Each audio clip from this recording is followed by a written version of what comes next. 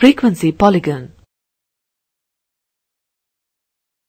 A frequency polygon is a graphical representation of data in which the mid-values of the class intervals of the given data is plotted against the corresponding frequency and the points so obtained are joined by straight lines. Follow these steps to draw a frequency polygon. Represent the class marks, that is, midpoints of class intervals along the x-axis and the frequency along the y-axis. Plot the points corresponding to the frequency at each class mark. Join these points in order by straight lines. To complete the polygon, join the point at each end immediately to the lower or higher class mark, as the case may be at zero frequency, that is, on the x-axis.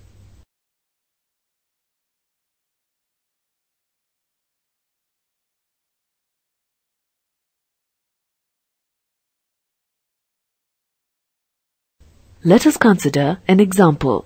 In a study of diabetic patients, the following data was obtained.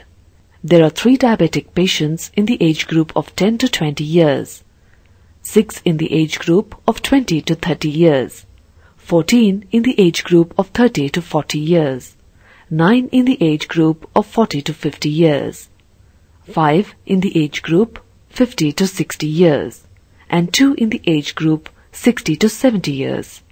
Represent this data by a frequency polygon.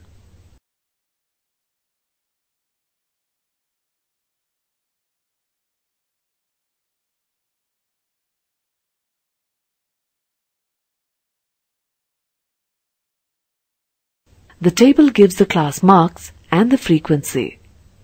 For example, for the age group 10 to 20 years, the class mark is 10 plus 20 by 2, which is equal to 15.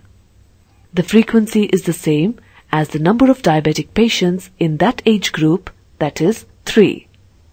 In the graph below, x-axis represents the age in years while y-axis represents the frequency. Hence, the data in the table can be represented by the points 15, 3, 25, 6, 35, 14, 45, 9, 55, 5, 65, 2, and lastly 5, 0 and 75, 0. Mark these points on the graph. Join the points in order. This gives the frequency polygon for the given data.